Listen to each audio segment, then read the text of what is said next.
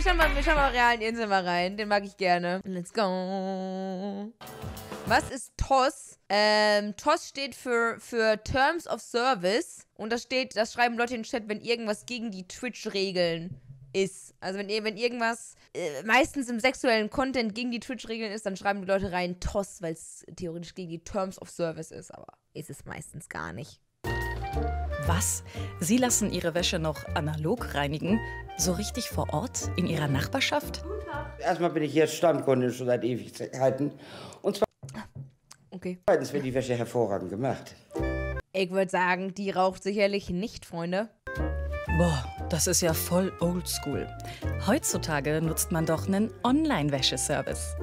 Ja, ich bin wohl verrückt geworden. Dankeschön. Ich frage mich, ich frage mich tatsächlich, honestly, immer nicht, äh, warum man zu der Wäscherei geht, wenn man, also es gibt zwar Leute, die haben keine Waschmaschine zu Hause und in ihrer, in ihrer Wohnung, kann ich schon verstehen, aber ich würde schon sagen, dass echt so gut wie alle Wohnungen haben doch eine Waschmaschine, dann macht man das doch einfach selbst, oder? Man muss doch einfach nur die Wäsche reintun, dann noch so einen Tab rein und das war's. Und das ist doch eigentlich übelst easy und man spart sich doch voll viel Zeit. Ist doch total nervig, da zu so einer Wäscherei zu gehen. Außer für Anzüge und so. Und für Anzüge und Hemden, das macht Sinn, ja. Frau, da kennen Sie wohl das tolle neue Angebot von DM und Persil noch nicht. Die bieten jetzt nämlich einen Online-Wäscheservice an. Und zwar in Essen und wie hier in München. Und der geht so. Schmutzwäsche abgeben, vorher online registrieren, Kundennummer rauf aufs Paket und ab geht's in die Persil Online-Wäscherei. Ich habe ähm, ehrlich gesagt zuerst gedacht, das ist ein Scherz, ähm, bis ich mich dann auf der Seite habe vergewissern können, dass es tatsächlich angeboten wird. Das ist natürlich vollkommener Unsinn. Ja, aber das Beste kommt auch erst noch. Hä? Die Wäsche wird nämlich nicht mal eben vor Ort gewaschen, wie zu Großmutters Zeiten. Wäsche wird von DHL abgeholt, wird Die Stimme. nach Hannover zu Persil gebracht. Dort wird sie dann gereinigt und gebügelt. Und dann kommt sie hier wieder über DHL zu uns zurück. Und der Kunde kriegt dann Geht's komplizierter? Per Mail die Info, dass die Ware zurück ist und abholbereit ist. Ja, richtig gehört. Sie geben Ihre Wäsche in Essen oder München ab, gereinigt wird sie aber in Hannover. Denn nur da wird Ihre Wäsche so What? Wie dumm ist denn das? richtig online sauber. 250 oder 650 Oh Kilometer mein Gott, kacheln. Unterhosen und Socken durch die Republik. Pro Strecke, versteht sich. Nee, echt jetzt? Ich bin gerade sprachlos. Ist sie auch gebügelt?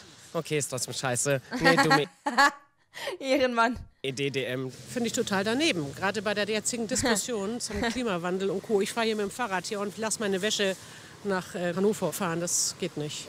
Ach Quatsch. DM hat eine total weiße Weste. Muss auch Bestimmt total lange dauern dann, oder? mit Persil gewaschen. Wir bei DM berücksichtigen bei neuen Angeboten und Services stets auch ökologische Aspekte. So versuchen wir Ressourcen so umweltschonend wie möglich zu verwenden.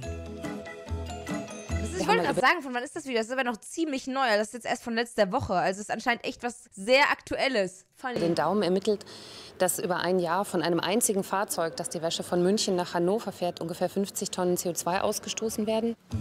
Die paar Tonnen CO2. Der Wäscheservice ist trotzdem voll nachhaltig, sagt DM. Die Wäschebeutel sind wasch- und damit wiederverwendbar. Die Versandkartons bestehen aus recycelbaren Rohstoffen.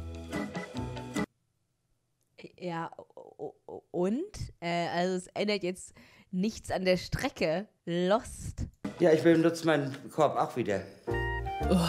Manche sind einfach noch nicht bereit fürs digitale Zeitalter. Der Online-Wäscheservice von DM und Persil.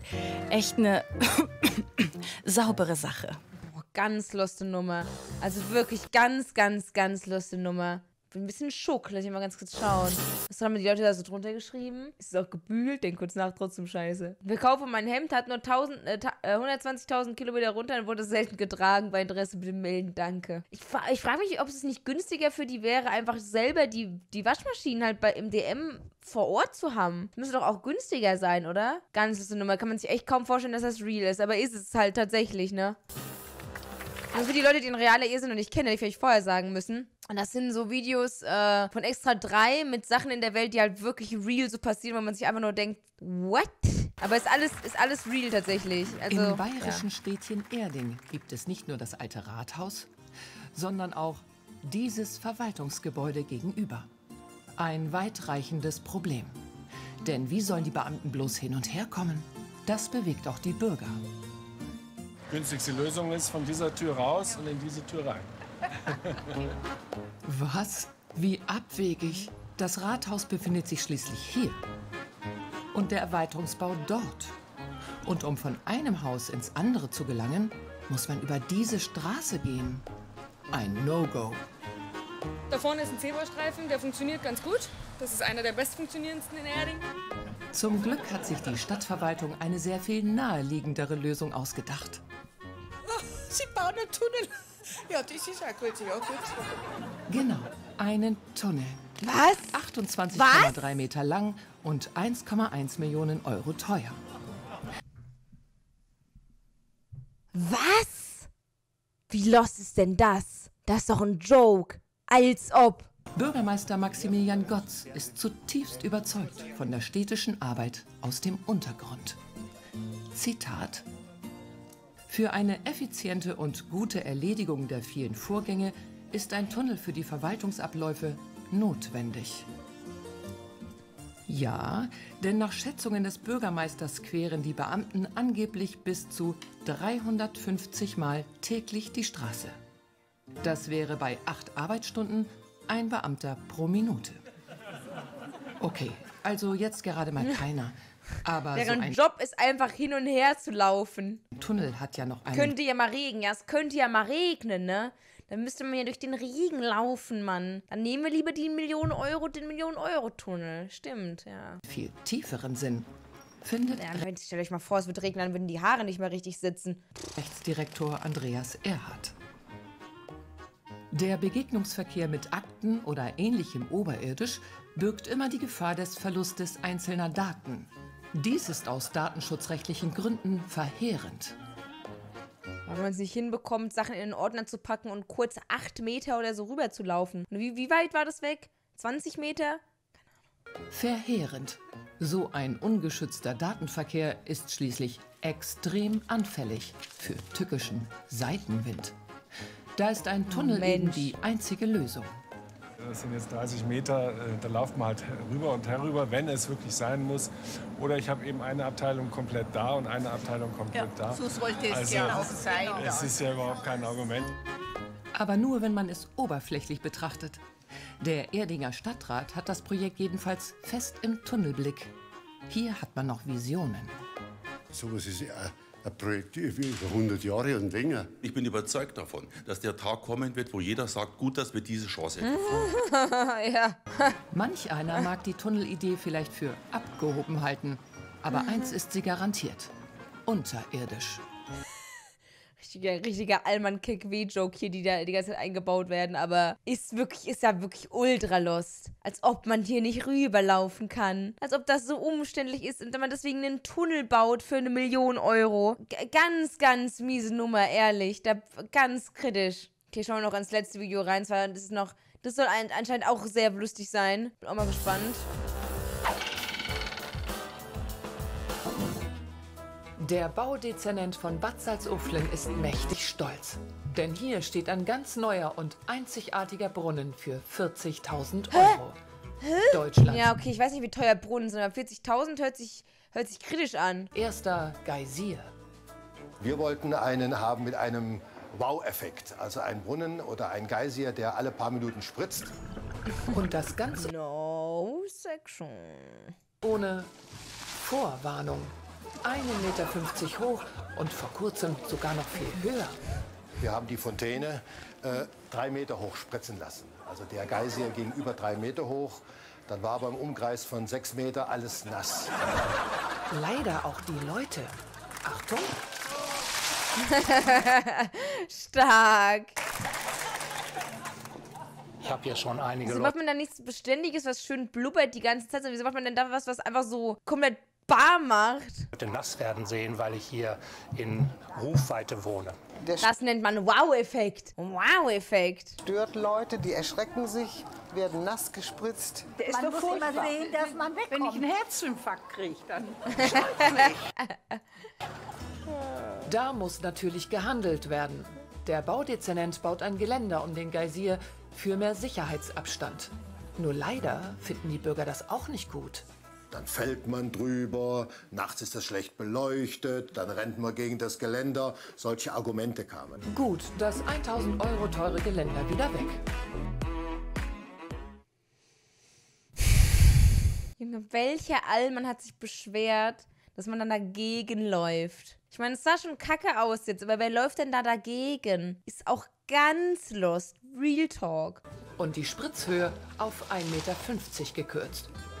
Doch auch so fordert der Geysir seine Opfer. Ist auch passiert, dass jemand ganz nah dran vorbeigeht. Äh, die Fontäne kam gerade und äh, eine Frau mit dem Rollator ist vor Schreck umgefallen.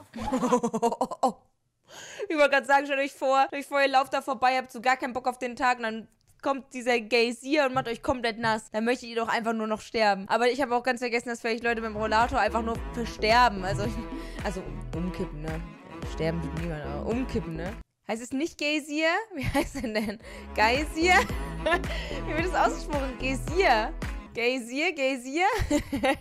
Geysir wird es ausgesprochen. Ich habe da noch nie in meinem Leben von gehört. Von einem Geysir. Das ist ein normales Wort für Brunnen. Ich kenne nur, kenn nur Brunnen. Coverfry. Gut, das ist das Leben. Das ist das Leben. Muss man eben besser hingucken. Wenn wir auf dem Boden unten eine nasse Zone sehen, dann fragt man sich ja, was ist das? Warum ist das nass? Und dann guckt man. Und dann weiß ich auch, da ist irgendetwas. Genau, hier ist doch irgendetwas. Huch. Das finden auch die Leute im benachbarten Café spannend. Der ideale Geysir-Beobachtungspost. Kann ich mir mal gut vorstellen, dass es echt funny sein könnte, sich da einfach hinzusetzen und den Tag über zu beobachten, wie die Leute einfach eins vor Sterben sind. Ich sitze jeden Tag hier. Die Eltern wissen das gar nicht, dass da Wasser kommt.